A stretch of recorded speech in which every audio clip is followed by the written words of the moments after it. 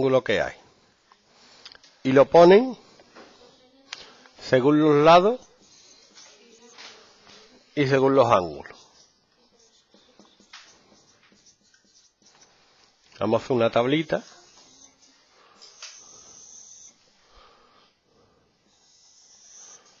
Tablita, tablita, tablita, tablita, tablita.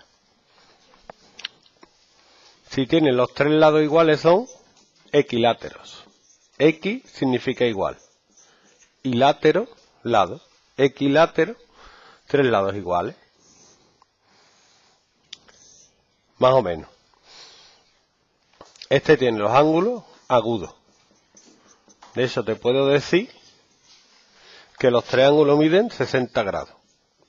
Son tres ángulos agudos porque miden menos de 90. Luego están los triángulos isósceles. Iso quiere decir igual. Los isósceles tienen dos lados iguales y uno distinto. Estos dos lados son iguales. Y este es distinto. Y también los triángulos son menores de 90.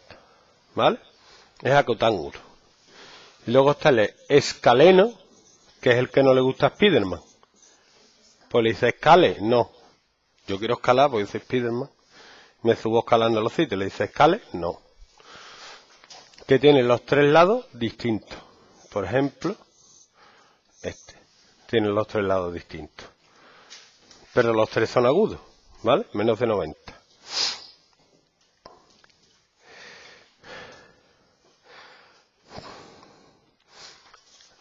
Ahora, que tengo un ángulo recto.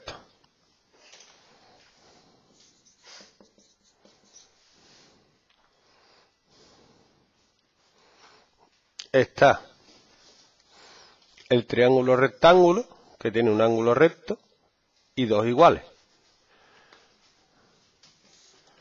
Este mide lo mismo que este. Y este ángulo mide 90 grados. Este es un triángulo rectángulo.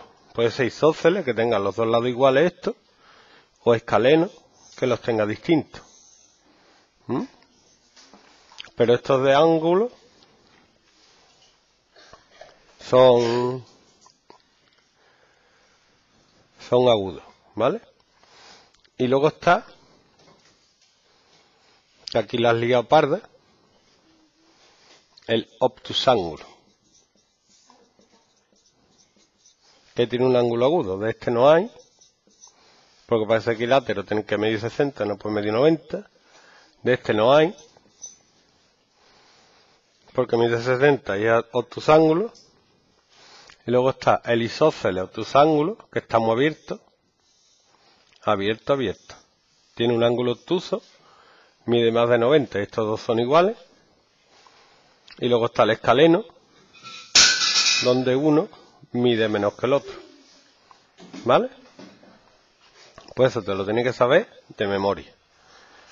Así que para aprendértelo de memoria, lo que yo te lo